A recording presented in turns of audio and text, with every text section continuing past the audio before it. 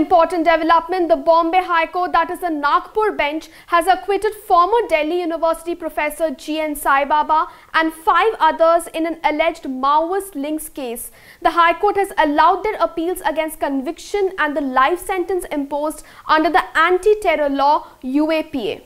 A division bench of Justice Rohit Deo and Anil Pansare of the Nagpur bench pronounced the verdict.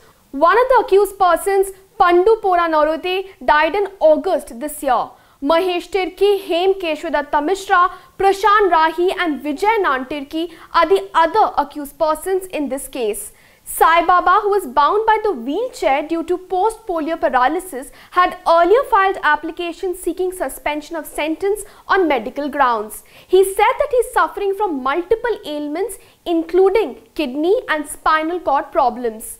Back in 2019, the High Court had rejected his application to suspend the sentence imposed. They were sentenced to life by the Sessions Court at Gadchiroli, Maharashtra in March 2017 for offences under the stringent UAPA that is the Unlawful Activities Prevention Act and under the Indian Penal Code for alleged association with the Revolutionary Democratic Front which was alleged to be an affiliate of outlawed Maoist organization.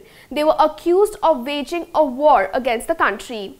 The accused persons were represented by advocate Nihal Singh Rathore and Barun Kumar while the prosecution was represented by senior advocate Siddharth Dave.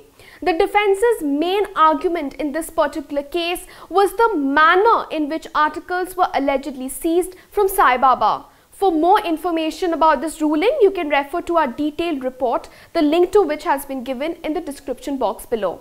Thank you. I'm Aaratrika Bhaumik for Live Law. Keep watching Live Law for more such updates.